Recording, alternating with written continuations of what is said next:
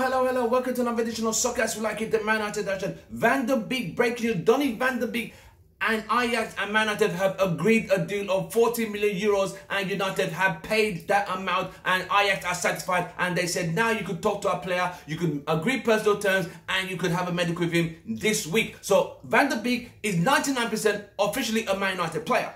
That means Van der Beek will come to United this week for his medical and agree personal terms. Other than that, Ajax have accepted the bid and goodbye and good night. This is what Borussia Dortmund have been asked United to do.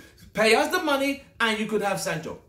That's all. So now, United now have Van der Beek, we now have Pogba, we have Bruno, we have Van der Beek, we have creative, we have flair players, we have players who are very creative and who know the game of act, tactical creative and scientific football. Anyway, moving forward, Sancho deal, that's on another side. And for Van der Beek, I'm actually excited. United have been proactive, have been excited, and have moved forward in reference to making sure they get this deal. He's a very good player, very, very good player. I think he's actually better than Jack Grealish and cheaper in that instance. Anyway, if you're watching our video for the very first time, smash a like, smash uh, the logo at the bottom right of your screen to subscribe to our channel. Thank you very much. Drop your comments. What did you think of Donny van der Beek? Do you think he's a better player? Do you think he's going to fit into United system? Tell us what you think and we will discuss this. But Van der Beek is 99% a United player. All that is left is personal terms and a medical.